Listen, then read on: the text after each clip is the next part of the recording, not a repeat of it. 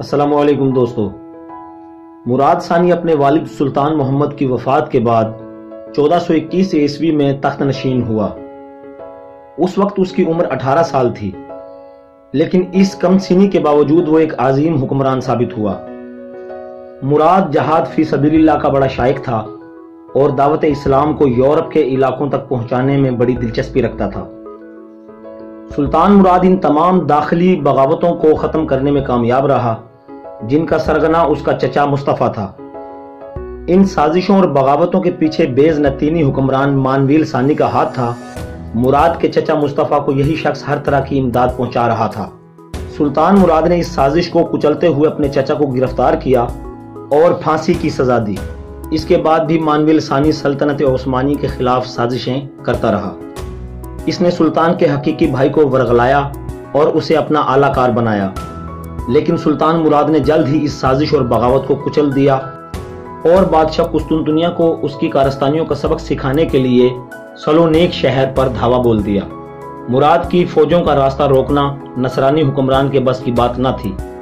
مارچ چودہ سو اکتیس کو شہر فتح ہوا اور ہمیشہ کے لیے دولت عثمانیہ کا حصہ قرار پایا۔ سلطان مراد نے بلکان میں سر اٹھانے والی بغاوتوں کا بھی کلا کما کیا۔ آپ چاہتے تھے کہ ان علاقوں میں عثمانی حکومت کو استحکام نصیب ہو۔ سو اس غرض سے سلطان مراد لشکر لے کر ولاشیا کی طرف روانہ ہوا۔ ولاشیا والوں نے سالانہ جزیہ دینے پر رضامندی ظاہر کی۔ سربیا کے بادشاہ نے بھی مجبوراً عثمانیوں کے سامنے سر جھکا دیا۔ عثمانی لشکر جنوب کی طرف روانہ ہوا اور بلاد یونان میں عثمانی اقتدار کے استحکام کے لیے خصوصی اقدامات کیے اور تھوڑے عرصے میں البانیا اور ہنگری کے تمام آزاد علاقوں کو زیر نگی کر لیا۔ عثمانی چودہ سو اکتیس میں البانیا فتح کرنے میں کامیاب ہوئے، مگر شمالی البانیا میں عثمانیوں کو شدید مزاحمت اور سخت ترین جنگ کا سامنا کرنا پڑا۔ البانیا کے پہاڑوں میں عثمانی فوجوں کے مقابلے میں شمالی البانیا کی فوجوں کو کامیابی ہوئی۔ اس پسپائی میں عثمانی فوج کو بہت نقصان اٹھانا پڑا۔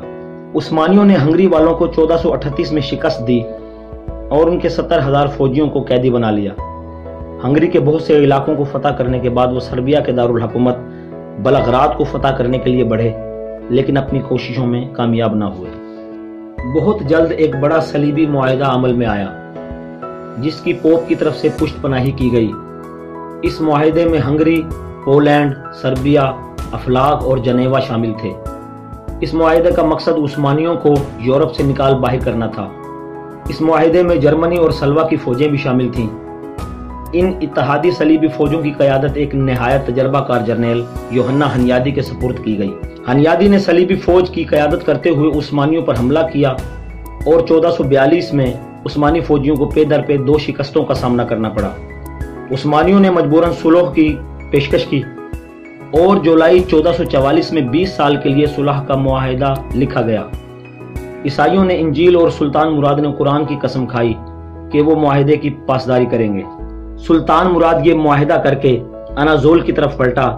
اسی اسنا میں اسے اپنے بیٹے کی موت کی خبر پہنچی۔ سلطان مراد کا دل دنیا سے اچاٹ ہو گیا اور اس نے اقتدار اپنے دوسرے بیٹے محمد کو سونپ دیا۔ اور ملکی معاملات سے کنارہ کشی اختیار کر لی۔ محمد کی عمر صرف چودہ برس تھی۔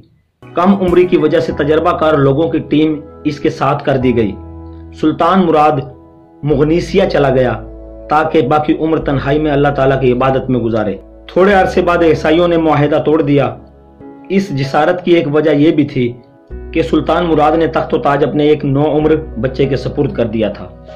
جب نصرانی فوجیوں نے پیش قدمی کی اور دولت عثمانیہ کی طرف بڑھے تو فوراً سلطان مراد کی خدمت میں قاصد روانہ کیے کہ وہ جس قدر جلد ممکن ہو اس خطرے کا سامنا کرنے کے لیے آئیں۔ سلطان اپنی خلوت سے باہر آیا اور بڑی تیزی سے ایڈریا نوپل پہنچا۔ خوفناک جنگ ہوئی اور مسلمانوں نے عیسائیوں کو شکست فاش دے کر بھاگنے پر مجبور کر دیا۔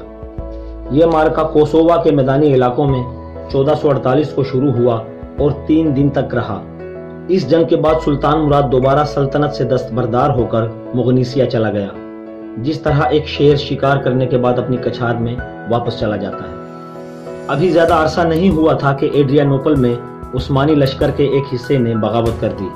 شہروں کو لوٹا، لوگوں کو قتل کیا۔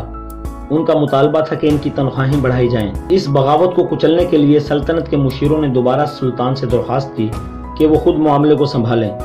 سلطان مراد کو دوبارہ آنا پڑا۔ اس نے آتے ہی حالات کو سنبھال لیا۔ باغی فوج نے سلطان کے پہنچتے ہی سر اطاعت خم کر لیا۔ سلطان نے اپنے بیٹوں کو مغنیسیہ کا حاکم بنا دیا۔ اس کے بعد آخر دم تک سلطان خود حکومت کرتے رہے اور بقیہ زندگی بھی جنگوں اور فتوحات میں گزار دی۔ سلطان ایڈریا نوپل کے محل میں سنتالیس سال کی عمر میں فوت ہوا اور اپنی وسیحت کے مطابق بورسا کی جامعہ مسجد مراد کے پہلو میں دفن ہوا۔ اس نے مرتے وقت اپنے بیٹے کو وسیحت کی کہ مجھے جمعہ کے دن دفن کرنا، میری قبر پر مقبرہ نہ بنانا، قبر کے ارد گرد کمرے بنانا، جہاں حفاظ بیٹھ کر تلاوت قرآن مجید کریں۔ ان کی وسیعت پر عمل کیا گیا، انہیں جمعہ کے دن دفن کیا گیا۔ نیز حفاظ کے لیے کمرے بھی تعمیر کیے گئے۔